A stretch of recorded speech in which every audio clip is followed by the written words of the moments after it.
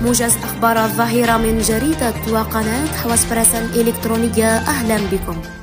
في المستهل حل وزير الطاقة والمناجم محمد عرقاب اليوم الثلاثاء بمطار عنابة برفقة وفد وزاري في إطار زيارة عمل تشمل ولايتي الطارف وعنابة. ووفقا لبيان وزارة الطاقة والمناجم ضم الوفد رئيس وكالة ضبط المحروقات إلى جانب الرؤساء المديرين العامين لمجمعات سوناتراك وسونالغاز وسونارام والرئيس المدير العام لشركة نفطال بالإضافة إلى عدد من الإطارات من القطاع. وقد استقبله بمطار عنابة الدولي رابح بطاط وولاة ولايتي عنابة والطارف الذين كانوا مرفوقين بممثلي السلطات المحلية في الولايتين.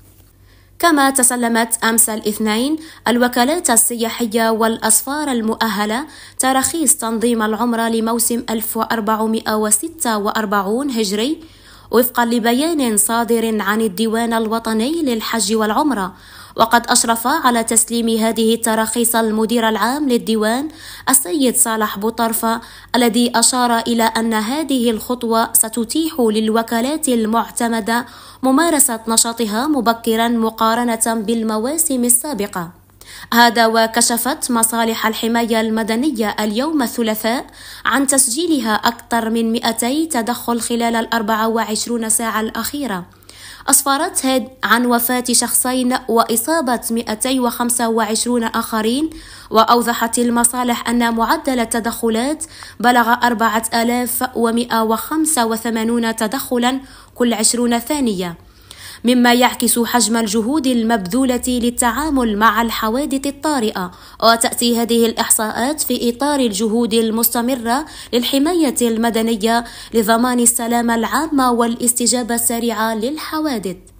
إلى أحوال الطقس أين أدرجت مراكز الرصد الجوي العالمية اليوم الثلاثاء؟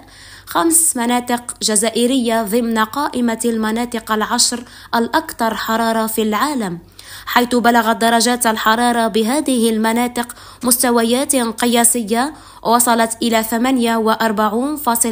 درجة مئوية تحت الظل.